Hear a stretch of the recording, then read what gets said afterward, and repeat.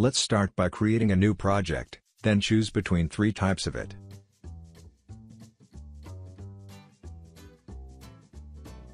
You give it a name and assign the folder where you want to save it.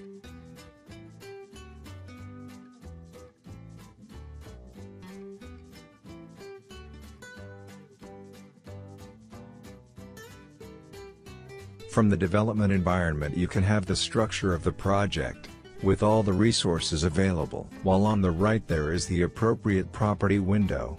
Let's start planning. First, let's create two tag variables from the I.O. data server.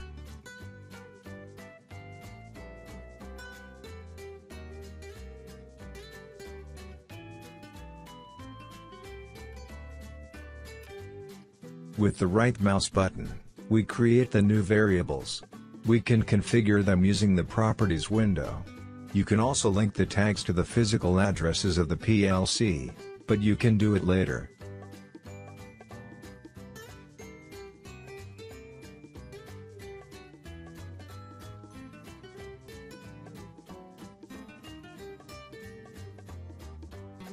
Now, let's create a new synoptic, for a simple user interface.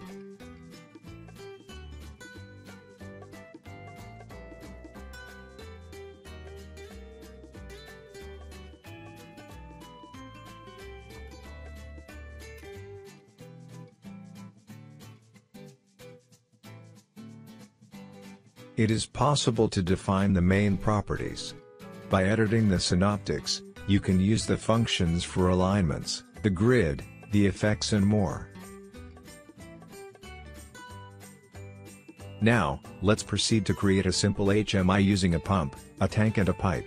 Then we will proceed to the dynamic animations. Select the desired pump symbol from the symbol library. We will use the pre-animated symbols from the Digital Animated tab.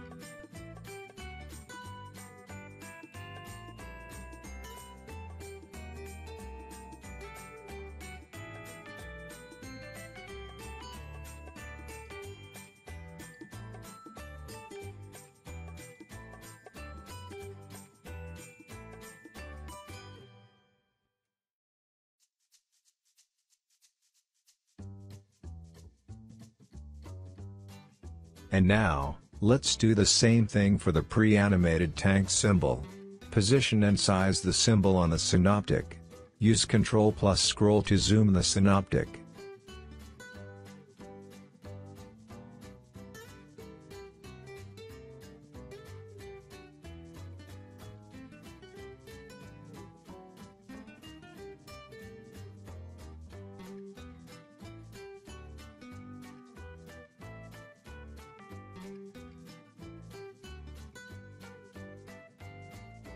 Now, select the pipe object from the toolbox.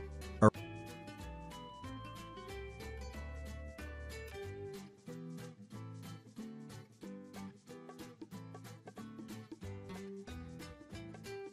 Arrange the piping graphically as desired. You can use Shift plus click to add or remove line points.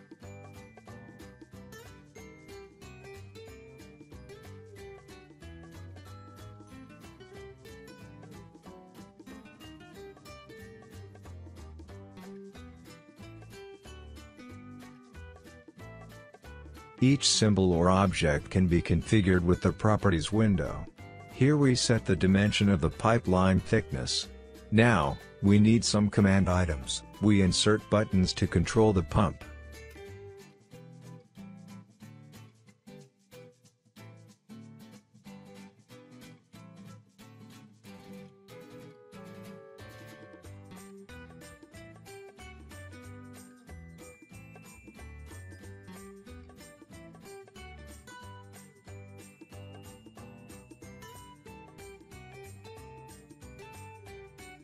We want to set the green gradient color for the button, now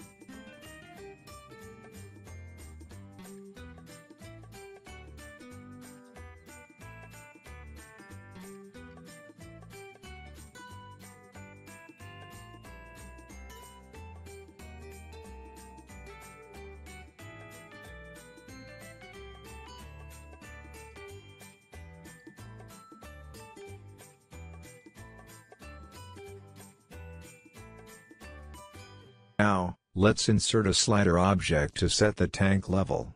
The synoptic graphics are done.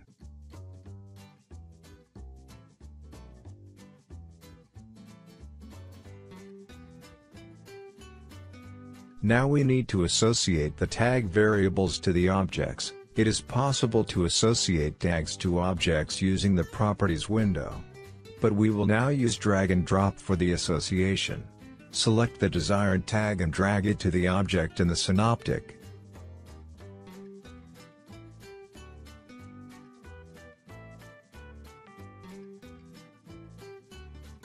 For the buttons, we need to define the desired command.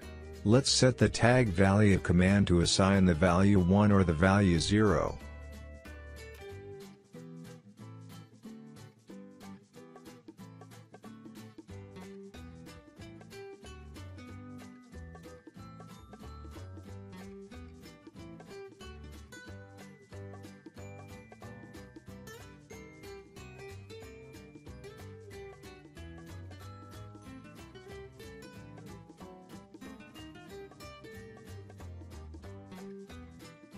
Now let's go and color the tube when the variable goes to on value.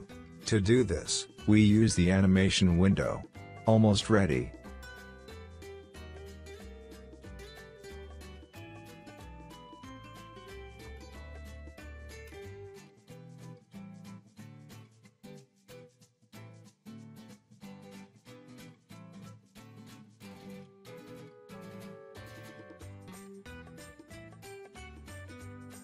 Now we need to set up the project so that it displays our synoptic at startup.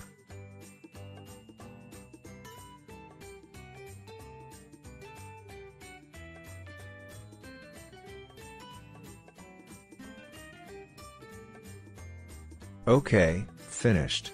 We are ready to carry out the project. Save the project and start runtime.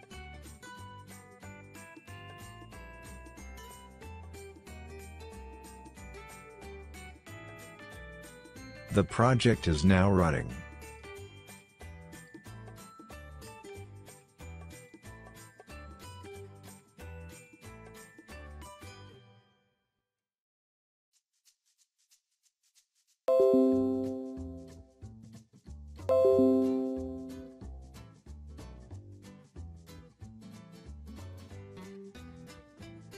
Good job.